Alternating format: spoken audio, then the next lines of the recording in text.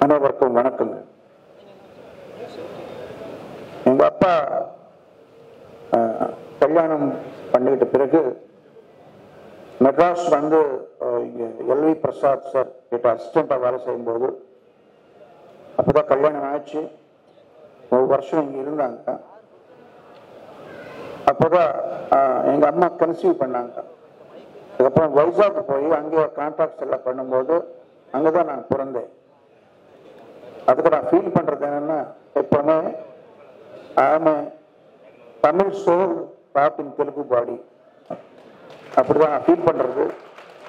அது மட்டும் இல்லை வாழ்க்கையில சம்பாதிச்சு ஏதோ பிரெட் அண்ட் பட்டருக்காக இங்க வந்து மியூசிக் இண்டஸ்ட்ரியில ஒர்க் பண்ணி இருபத்தி ரெண்டு வருஷமா நான் இங்க சென்னையில தான் இருந்தேன். அதற்கு சில காரணத்திற்காக ஹைதராபாத் ஷூட் பண்ணியிருக்கேன். தெலுங்கு படங்கள் எல்லாம் அங்கதான் பண்ணணும்னு ஒரு ரூல் வந்திருக்கு கொண்டு வந்திருக்காங்க. அப்போ ஹைதராபாத் ஷூட் பண்ணியாச்சு.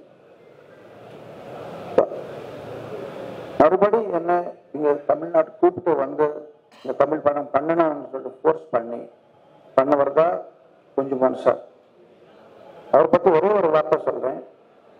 அவர் போலீஸ்காரன் மாதிரி மீச வச்சிருக்காங்க. ஆனா போலீஸ்காரனுக்கு அவருக்கு ஒரு ஒரு ஒரு ஒரு சம்பந்தம் இருக்கு. வேற போலீஸ்காரன் வந்து நார்மலா சொல்லுவாங்க இவர் அண்டர் அரெஸ்ட்னு சொல்லுவாங்க. அவர் கூட என்ன அரெஸ்ட் பண்ணிட்டாங்க அன்போட அரெஸ்ட் பண்ணிட்டாங்க. உங்க இதயத்தில் நான் ஒரு ஜீவிதாந்தம் ஒரு பரவர் நான் ஒரு கைதியா இருப்பேன் இந்த படத்துக்கு நான் என்ன செய்ய வேண்டுமோ அதெல்லாம் அப்படி hundred percent sincerity without compromise நான் பண்றேன் உங்களுக்கு. இது வரைக்கும் இதுக்கு முன்னாடி சொன் பண்ணேன் இப்போ சபை மூலமா மறுபடியும் சொல்றேன். அப்புறம் நான் சென்னையில் இருக்கும்போது நிறைய கோவில் போனேன். நான் பார்க்காத கோவில் கிடையாது. ரிப்ளிகன் பாரசாத்து கோவில் மயிலாப்பூர் லெஸ் கார்னர்ல கபால சுல்தான் கோவில் இந்த மாங்காடு எல்லா கோயிலும் சுற்றி பார்க்கறது உண்டு அப்போ. அந்த வயசுல எல்லா கோயிலும் சுத்துறது பூஜை பண்றது குங்குமம் வைக்கிறது இதெல்லாம் பண்ணி பண்ணி பண்ணி கடைசியில் இப்போ நான் என்ன பண்ணுறேன்னா பூஜை பண்ணுறதுன்னா ஒரு பாட்டு நல்ல பாட்டு கேட்கறது தான் பாட்டுன்னா வெறும் சங்கீதம் இல்லை அதில் வேர்ட்ஸ் ஒரு நல்ல பாட்டு கேட்பா கோயிலுக்கு போயிட்டு வந்து வந்த ஃபீலிங் கிடைக்கும். எனக்கு ரொம்ப பிடிச்ச தமிழ் கவிஞர் கண்ணதாசன் அவர்கள் வாலி அவர்கள் என வைரமுத்து அவர்கள் மூணு பேர் எழுதுற பாட்டு ஒவ்வொரு பாட்டு ஒவ்வொரு சந்தர்ப்பத்தில் கேட்பா எனர்ஜி கிடைக்கும். ஒரு- ஒரு ஆஸ்பிஷியஸா ஒரு ஆப்டிமிஸ்டிக்கா ஒரு மூடு மாறிடும்.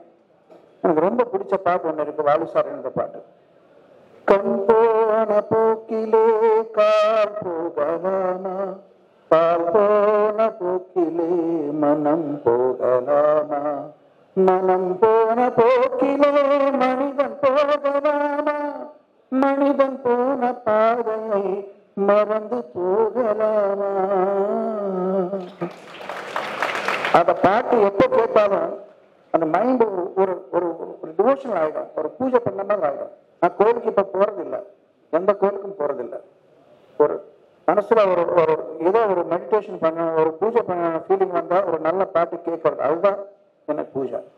அதே போல எப்போ மைண்ட் டிஸ்டர்ப்டா ஒரு ஒரு ஒரு டிப்ரெஷனுக்கு போனா பாட்டு எழுதின பாட்டு சோகமினி இல்லை. அட இனி வானமே இல்லை. அது பாட்டு கேட்டா எனர்ஜி திரும்பி வந்துடும். இந்த மாதிரி எல்லாம் நான் பூஜை பண்ற சாங்ஸ் யார் எழுதியிருக்காங்களோ அவங்கள இப்போ என்ன படத்துக்காக மறுபடியும் எல்லா பாட்டும் அவர் எழுதி வந்து ஒரு பிளஸ்ஸிங்காக ஃபீல் பண்றேன். ஒவ்வொரு பாட்டுக்கும் ஒரு லைஃப் கொடுக்குறாங்க. அது ஒவ்வொரு பாட்டுக்கும் அது ஒரு பிளஸ்ஸிங் மாதிரி நான் ஃபீல் பண்ணி அது நான் ஒர்க் பண்ணி கேட்குறேன் ரொம்ப நன்றி சார் வருமுத்து சார் இந்த தமிழ் இண்டஸ்ட்ரியில மறுபடியும் நான் வந்து ஒழுங்கா வேலை செஞ்சு மறுபடி பேர் சம்பாதிக்கிற வார்- வாய்ப்பு கொடுத்ததற்கு குஞ்சுமான் சாருக்கும் அதே போல சந்திரமுகி எடுத்துக்கிறவர்கள் பி. வாசு சார் அவர்களுக்கும் லைகா பிரச்சனை அவர்கள் கூட நான் நன்றி தெரிவிக்கிறேன். தமிழ்நாடு. தமிழ்நாடு சொன்னா எனக்கு டிஎம்எஸ் சார் மதுரையில் நான் சாப்பிட்ட பொங்கல் மீனாட்சி அம்மன் தமிழ்நாட்டுக்கும் எனக்கு ஒரு ஒரு சம்பந்தம். எத்தனையோ சம்பந்தம் இருக்கு. அது முன்ன சொன்ன மாதிரி நான் தமிழ் சோல் காட்டின் தெலுங்கு பாடி. நன்றி வணக்கம்.